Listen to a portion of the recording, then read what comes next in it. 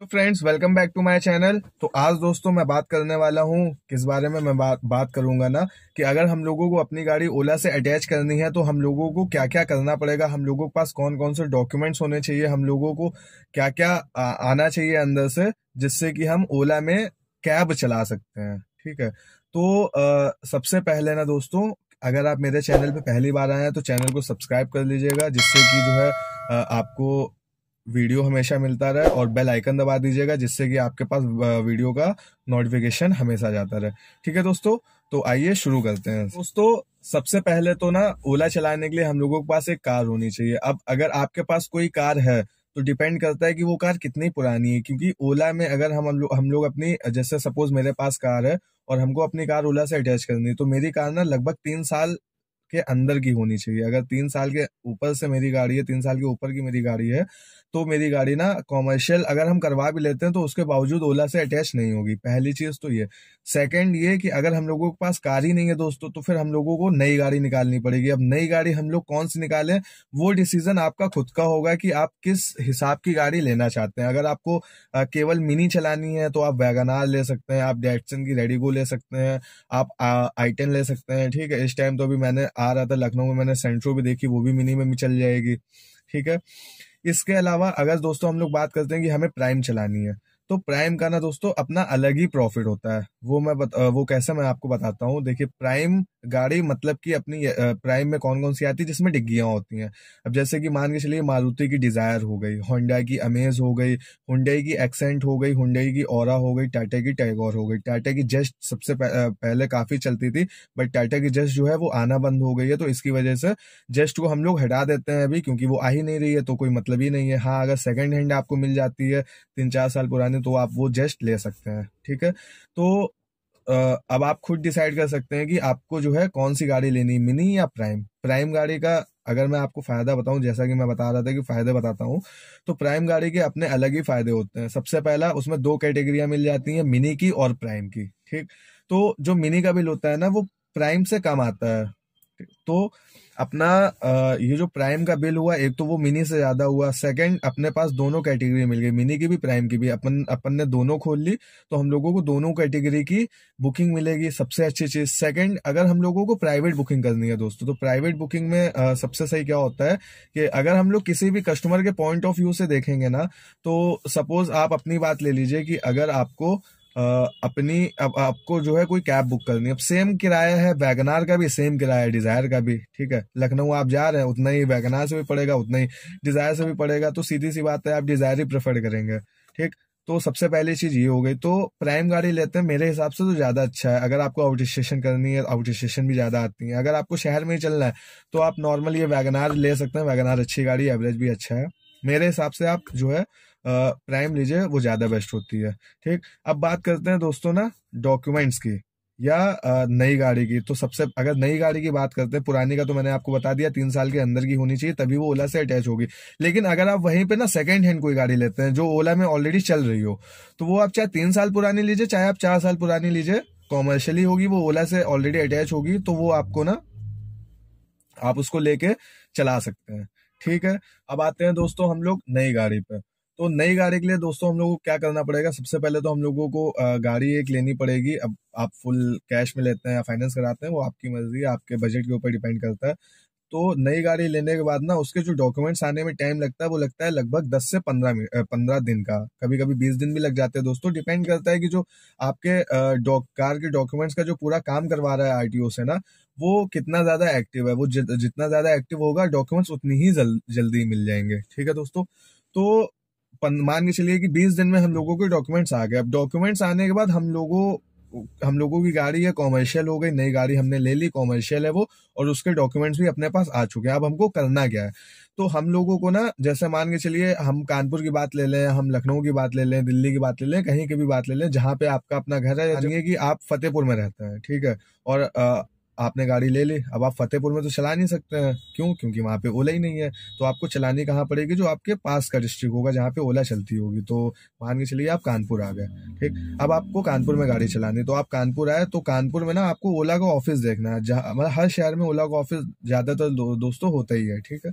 तो आप ओला के ऑफ़िस गए। अब आपको डॉक्यूमेंट्स क्या क्या लेके जाने हैं? डॉक्यूमेंट्स आपको वो लेके जाने जो आपके कार के आए होंगे। मतलब कि कार की आरसी कार की इंश्योरेंस उसके बाद जो है एक कार की आरसी कार की इंश्योरेंस और जो अपना परमिट आता है, अगर आपने पूरा ऑल इंडिया का परमिट ले रखा होगा तो ऑल इंडिया का परमिट ले लीजिएगा। सेकंड जो है, अगर आपका ऑल यूपी का है तो अपना ऑल यूपी का ले करके सीधे आप जाएँगे ओला ऑफ़िस ठीक? ये अपने हो गए गाड़ी के डॉक्यूमेंट्स अब बात करते हैं दोस्तों कि ड्राइवर के क्या डॉक्यूमेंट्स लगते हैं। तो इसमें डिपेंड ये करता है दोस्तों कि गाड़ी आप खुद चलाएँगे या किसी ड्राइवर से चलवाएँगे? अगर दोस्तों गाड़ी ना आपको खुद से चलानी है तो ये तो मैंने गाड़ी के डॉक्यूमेंट्स आपको बता दिए। अब इसके अलावा आपको और क्या लेना है? अपना पैन कार्ड, अपना आधार कार्ड, अपना ड्राइविंग लाइसेंस। ड्राइविंग लाइसेंस में मैं आपको एक चीज़ बता दू दोस्तों, ड्राइविंग लाइसेंस ना अगर आपका नॉर्मल हैवी नहीं है, नॉर्मल एलएमवी वाला है तो उससे आप कॉमर्शियल कैब चला सकते हैं। ऐसा रूल आ गया था तो ज़्यादातर लोग ना उस पर जो है कैब चला रहे हैं, मैं खुद भी चला रहा हूँ। एलएमवी लाइसेंस पे, ठीक है?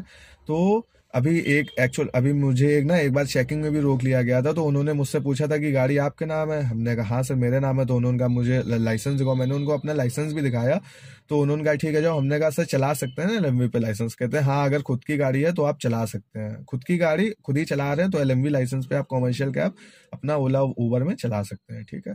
तो अब पैन कार्ड हो गया, आधार कार्ड हो गया, आपके डॉक्यूमेंट्स में, फिर अपना डीएल हो गया, फिर बैंक पासबुक हो गई या कैंसिल चेक हो गई, जो जिससे कि वो आपके अकाउंट, ओला के अकाउंट से अटैच कर देंगे जब कभी ऑनलाइन पेमेंट आता है। जैसे मेरी कल वाली वीडियो में मैंने दिखाया था आपको कि मेरा ऑनलाइन पेमेंट हो गया।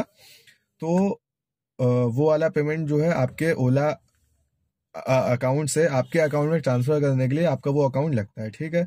अब अगर इनकेस दोस्तों आपको ना किसी ड्राइवर से गाड़ी चलवानी कि आपको अपनी गाड़ी खुद से नहीं चलानी आप किसी और से अपनी गाड़ी चलवाएँगे, आपने ड्राइवर रखा हुआ है अपनी गाड़ी में तो उसके लिए आपको क्या करना पड़ेगा कि ये जितने डॉक्यूमेंट्स मैंने आपको बताया डीएल छोड़ के, वो सारे आपके लगेंगे कार के सारे लगेंगे, आपके पैन कार्ड आधार कार्ड ये सारा लगेगा। उसके अलावा जिस जिससे आपको गाड़ी चलवानी उस भाई के डॉक्यूमेंट्स में आपको पैन कार्ड आधार कार्ड और उनका डीएल ये तीन चीज़ें आपको चाहिए चाहिए। इसके अलावा आपको एक चाहिए कैरेक्टर सर्टिफिकेट जो कि अगर हम कानपुर की बात करें तो एसएसपी ऑफ़िस के पास, कचहरी के पास एसएसपी ऑफ़िस है, वहाँ पे बनता है, ठीक है? तो हर डिस्ट्रिक्ट का अपना अलग वो होता है, कचहरी के पास, वो बन जाता होगा कैरेक्टर सर्टिफिकेट तो वो हो गया। मतलब वो कैरेक्टर सर्टिफिकेट ज़रूरी होता है, चाहिए ही होता है, क्योंकि वो ओला के ऐप में ना अपलोड किया जाता है। ठीक है दोस्तों तो डॉक्यूमेंट्स की बात ये हो गई।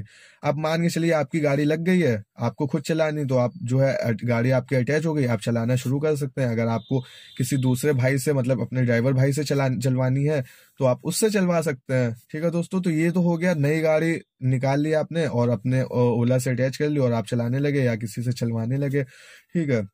और पुरानी पुरानी गाड़ी का भी मैंने आपको बताया कि अगर आप कोई सेकंड हैंड गाड़ी खरीदेंगे सेकंड हैंड गाड़ी खरीदने पे जो है आपको केवल और केवल उसके डॉक्यूमेंट्स पे चेंज कराना पड़ेगा क्योंकि गाड़ी मान लीजिए आपने सेकंड हैंड खरीदी है तो वो आपके नाम हुई तो उसमें आपके डॉक्यूमेंट्स लगेंगे। अगर आप खुद चला रहे हैं सेम प्रोसेस पूरा पूरा वही जाएगा, ठीक है। लेकिन जो ऑलरेडी चल रही है ओला में, वो आपकी चार साल पुरानी आप लेंगे तो भी लगेगी, पाँच साल पुरानी लेंगे तो भी चलेगी। लेकिन अगर आपके पास सपोज़ आप सोचेंगे, मेरे पास कोई, मेरी गाड़ी, मेरे पास कोई गाड़ी है, मान लीजिए आपका वैगनार है, वो पाँच साल पुरानी है, अब आप सोचेंगे हम इसको जो है कॉमर्शियल करा के चलाने लगेंगे तो ऐसा नहीं है, ठीक है। तो मेरे हिसाब से आपको क्लियर हो गया होगा। ठीक है? इसके बाद जो है आ, मेरे हिसाब से इतनी जानकारी ठीक है ओला चलाने के लिए है ना? अगर आपकी कोई भी क्वेरी होती है इसके अलावा तो आप ना सीधे कमेंट सेक्शन में जाके मुझसे पूछ सकते हैं मैं आपको तुरंत रिप्लाई करूँगा। इसके अलावा जो है अगर आपको कहीं पे लगता है कि मैंने कुछ गलत बताया है तो आप वो भी मुझे बताइएगा। हो सकता है आ, मुझे कहीं पे क्योंकि हर किसी को सारी चीज़ें दोस्तों नहीं पता होती हैं तो हो सकता है मेरी कहीं पे गलती भी हो तो आप वो मुझे बता दीजिएगा तो वो चीज़ मेरी क्लियर हो जाएगी। हालाँकि बताया मैंने सारा कुछ सही है। बाकी फिर भी क्या पता कुछ अपडेट हो या मुझे नहीं पता हो मेरी जानकारी में नहीं हो तो वो है। ठीक है दोस्तों? तो बाकी आ, मेरे हिसाब से आपको आ, पता चल गया होगा। अगर आपको कुछ पूछना हो तो आप कमेंट सेक्शन में पूछ लीजिएगा। चैनल को आपने सब्सक्राइब नहीं किया हो तो चैनल को आप सब्सक्राइब भी कर लीजिएगा दोस्तों जिससे कि मैं आ, आ, आगे जो है आपको और अच्छी अच्छी वीडियो देता रहूँगा। और दोस्तों अगर मेरे आज की अर्निंग की बात करें अर्निंग तो बतानी पड़ेगी ना मेरी जान। तो अगर दोस्तों आज की अर्निंग की बात करें ना तो मैं प्राइवेट लखनऊ आया हूँ। वही सेम जो मैं मेरे कस्टमर हैं जिनको मैं लेके आता हूँ अक्सर जिन जो जिनसे मैं तीन हज़ार रुपये लेता हूँ तो आ, उनको जो है मैं लेके आया हूँ और अभी मैं वेट कर रहा हूँ उनको ड्रॉप करके अभी थोड़ी देर में जो है यहाँ से चलेंगे कानपुर तो मेरा आज का काम हो जाएगा लोकल मैं चलाऊँगा नहीं दोस्तों क्योंकि मन नहीं और मन छोड़ दीजिए यार सर्दी इतनी ज़्यादा है ना कि मेरी यहीं पे आने की इच्छा नहीं थी लेकिन अपना क्या था कि कार के अंदर बैठ के आना था तो इस वजह से अपन आ गए थे क्योंकि सर्दी ना कानपुर में दोस्तों बहुत ज़्यादा है ठीक है? बाकी ना दोस्तों, ख्याल रखिएगा, मिलते हैं कल एक नई वीडियो के साथ। आज का, चूँकि ओला चलानी नहीं थी तो इस वजह से मैंने ज़्यादा अर्निंग का बताया नहीं आपको, क्योंकि एक राइड वो भी प्राइवेट वो भी लखनऊ की, आना जाना और बीच में रुकना, जो कि रुके हुए हैं।